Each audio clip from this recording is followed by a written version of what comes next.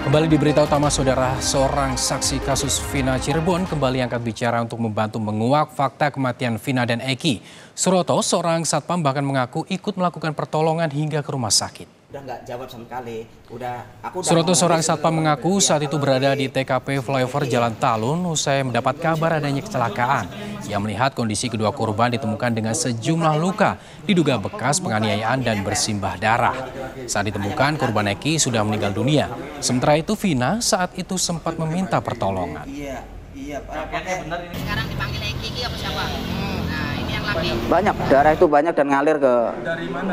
dari kepala dari badan dari mana? Nah pokoknya sekujur tubuh itu dulu tuh banyak lukanya pak. Dari dua korban itu? Dari dua korban itu dua korban itu. Saya langsung fokus ke perempuan. Karena dia minta tolong tolong tolong tuh. Iya deh aku bilang sabar ya mobilnya se- lagi meluncur ke sini. Nanti dibawa ke rumah sakit no. iya tolong tolong tolong. Gak lama kemudian eh, mobil itu datang baru kita evakuasi ke rumah sakit Gunung Jati itu ngangkat ngangkat eh, korban itu juga bertiga aja sama anggota polisi dan saya Untuk mengetahui cerita selengkapnya, saudara, dari saksi Suroto ini sudah bergabung bersama kami di Kompas TV. Selamat malam, Pak Suroto. Pak Suroto, Anda menjadi saksi waktu itu dan sempat melakukan pertolongan terhadap kedua korban, baik Vina maupun Eki. Sebetulnya yang Anda lihat, Pak Suroto, waktu malam kejadian 27 Agustus 2016 ya, Pak, itu bagaimana kondisi kedua korban? Ya. Baik, kondisi dua korban itu waktu itu sangat sangat eh, memperhatikan karena kedua korban itu luka-luka berat. Eh, cuman saya juga nggak eh, nyangka kalau korban itu telah dianiaya atau dibunuh. Tahu saya itu dulu kecelakaan laka lantas gitu, Pak. Artinya sebelumnya mendapatkan laporan bahwa ada kecelakaan di flyover di Jalan Talun seperti itu ya Pak? Betul, Pak.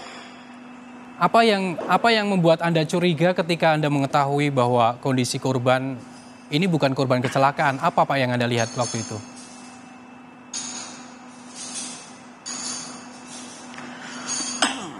Dan kulihat waktu itu tuh saya pertama datang ke sampai ke lokasi itu. Di lokasi itu udah banyak pengguna jalan eh, melihat kondisi korban itu cuman nggak ada yang berani memegang atau mendekat cuma melihat aja. Kerumunan pengguna jalan itu banyak sekali dan saya datang ke lokasi di situ langsung nar- naruh motor saya, pinggirin, saya langsung megang korban yang laki waktu itu. Habis megang yang laki karena korban laki itu sudah tidak menjawab, tidak ada pergerakan. Jadi saya tinggalin, saya fokus ke pihak ke perempuan yang minta tolong, tolong dan tolong, Pak.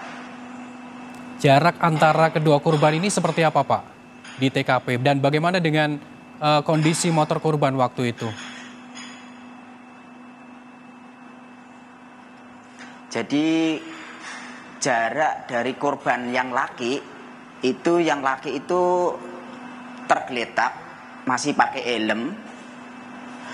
Itu posisinya nempel dengan pembatas jalan antara perbatasan desa Kepompongan dengan desa Kecomberan. Dan jarak jarak sama yang perempuan itu dari trotoar ke jalan tengah itu kurang lebih 2 meter. Pihak perempuannya 2 meter ke jalan tengah. Dari pihak dari jalan dari yang perempuan sama motor itu jaraknya kurang lebih 6 meteran. Bapak sempat melihat Pak Suroto eh, bagaimana kondisi motornya kalau misalnya waktu awal dikasih tahu atau diberikan laporan ke Pak Suroto kecelakaan kondisinya sepeda motor itu apakah mengalami kerusakan atau seperti apa Pak? Tidak, motor tidak ada kerusakan, masih layak pakai, Pak. Masih layak pakai ya?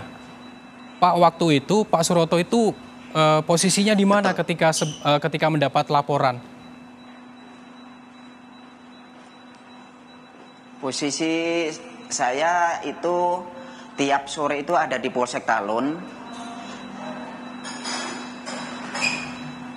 Cuman di wilayah saya itu sering terjadi eh, jambret apa jam 9, jam 10, jam 11 itu sering terjadi. Jadi eh, saya rutin tiap sore itu keliling. Jam 9, jam 10, jam 11, jam 12 itu selalu keliling Om. Dan benar adanya jam 10 pas keliling itu di situ udah ada kerumunan war pengguna jalan melihat kejadian kecelakaan itu waktu itu saya tahunya kecelakaan.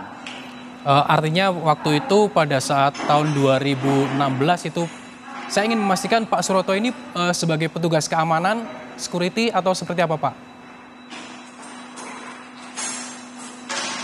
Bukan, saya eh, waktu itu perangkat desa. Oke, Pak Suroto, eh, Pak Suroto akan menceritakan bahwa pernah menolong dan juga melihat kondisi Vina dan Eki waktu itu. Pak Suroto pernah eh, memberikan keterangan ini kepada polisi.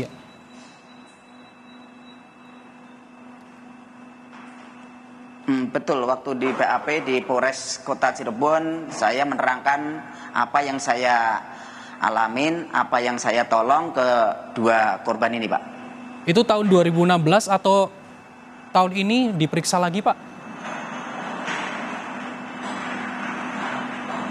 Tahun ini baru dapat panggilan dari Polda eh, hari Selasa. Cuman saya mohon kalau bisa jangan di Polda, kalau bisa di Polres Kota aja. Jadi di ACC di Polres Kota, Pak.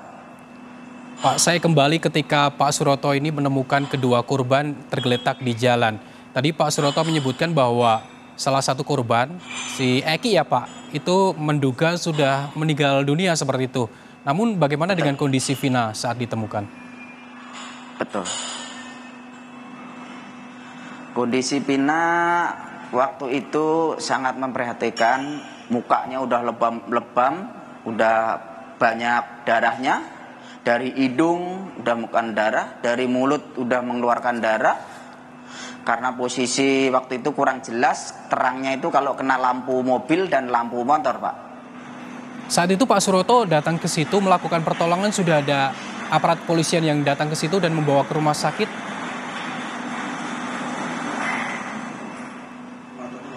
Oh, belum. Saya duluan, Pak, sama polisi. Sama polisi, lalu selanjutnya kondisi Vina ini e, dinyatakan meninggal itu waktu di rumah sakit Lalu atau di saya- TKP Pak?